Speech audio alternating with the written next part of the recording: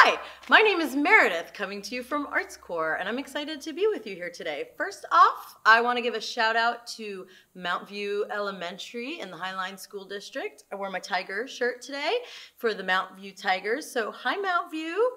Um, we are gonna read a poem together today. Actually, I'm gonna read a poem to you today um, called Zoofabet. So, Zoofabet sounds like alphabet, right?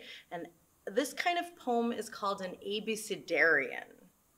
When you hear abecedarian, what do you think about? Alphabet, right? So the form of this poem is that every line starts with a letter of the alphabet going from A to Z.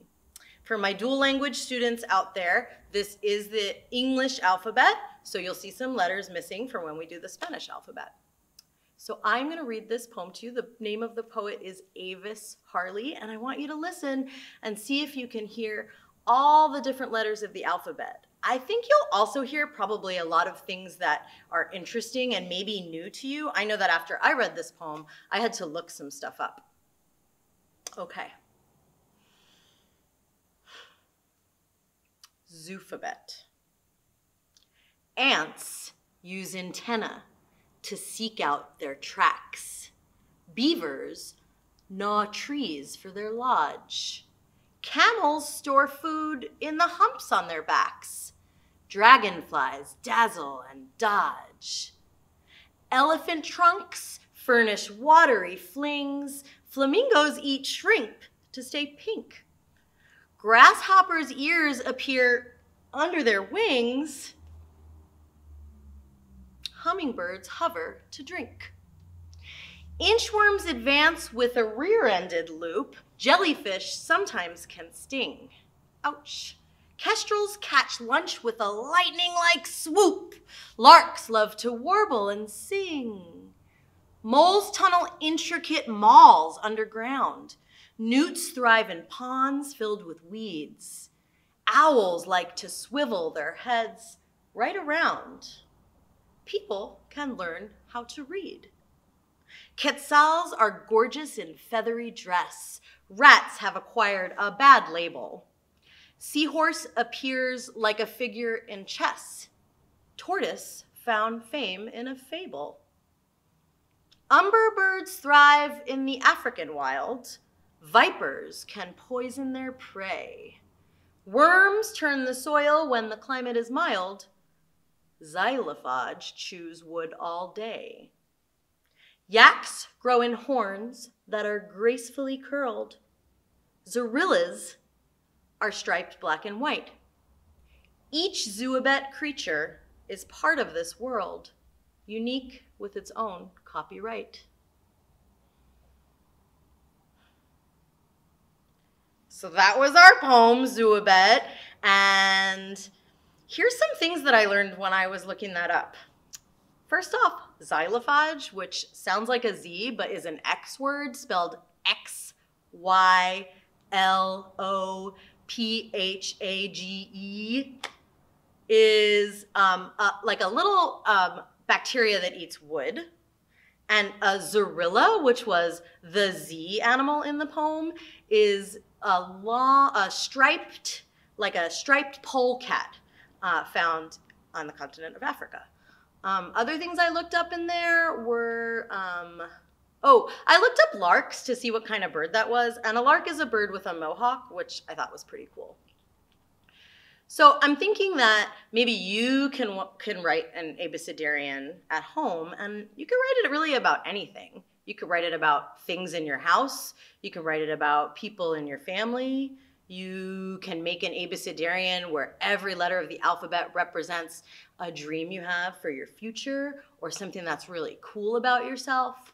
I wrote one, and because I can't see my students in person right now, I wrote one about my students to celebrate you. And because all of my students at Mount View Elementary are in the dual language program learning half in English and half in Spanish, I wrote my poem both in Spanish and English. So in Spanglish, it's a mix of both. So I'm going to read you my poem right now, which is called My Students. Again, see if I got every letter in there from A to Z. my students. Always telling a story or a joke, bringing me a smile from ear to ear.